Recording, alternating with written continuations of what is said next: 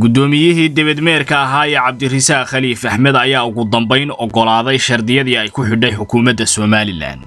waxaana la filayaa horraanta bisha fooda inugu soo haysaa inuu magaalada hargeysa yimaado ka horna uu fuliyo. Tallaabooyin dhowr ah oo ay kaga xidhan tahay inuu xilkiisa haysto iyo inuu caasimadda somalilan mar kale cagaha soo geliyo. Muster cabdirasaaq ayaa hoggaanka xisbiga waddani oo uu ka soo baxay waxa ay doonayaan inuu dib ugu soo laabto jegadiisii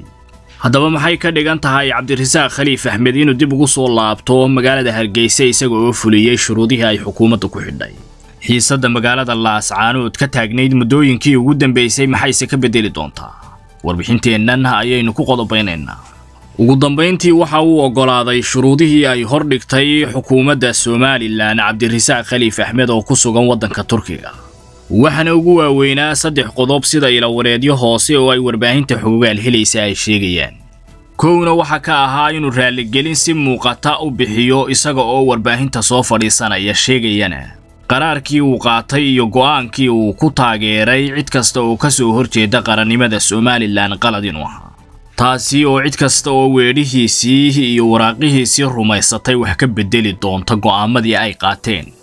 sida oo kale isaga laftiisa in buugga naxariista loo baadho dhalin karta oo uu xildhibaan golaha wakiilada ee jamhuuriyadda somalilan ka sii tirsan ahaado inkasta oo uu waayi doono jagadii saddexaad ee waddanka ugu sarraysay hase yeeshee waxa uu u arkaa wakhtigan xaadirka ah inay siiba si dhaanto.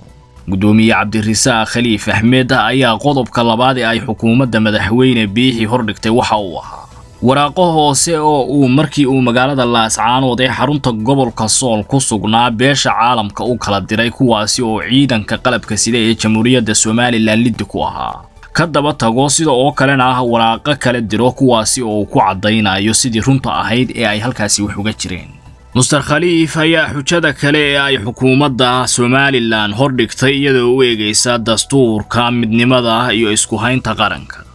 waxa ay tahay inuu xiisadda magaalada laascaanood saddexdii bilood ee ugu dambaysay ka aloosnayd ee uu qaybta ka ahaa shacabka jamhuuriyadda somalilan meel kala arko. Isaga oo midnimada wadajirka iyo sida oo kale xuduudaha somalilan ilaalinaya cabdirasaaq khaliif axmed ahna mas'uul ka tirsan golaha wakiilada.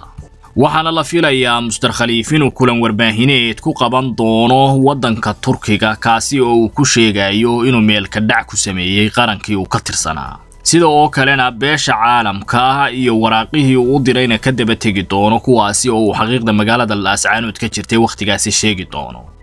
Muster khaliif ayaa waxa uu cuskanayaa wakhtigaasi in aanu xor ahayn oo go'aankiisa iyo aragtidiisa saxda a qaadan karayn hase yeeshee uu ku dhex jiray ciidamada garaadada ka amar qaata iyo sida oo kale deegaankiisa oo si weyn uga soo horjeeday somalilan tanina ay noqonayso cudurdaarkii ugu horreeyey ee uu ka bixiyo mas'uulkii saddexaad ee debadmeerka ka noqday somalilan deegaankiisana la soo saftay. Wixii weerarahee ka soo kordhana waxa aynu ku soo qaadan doonnaa warbixinaheenna soo aadan.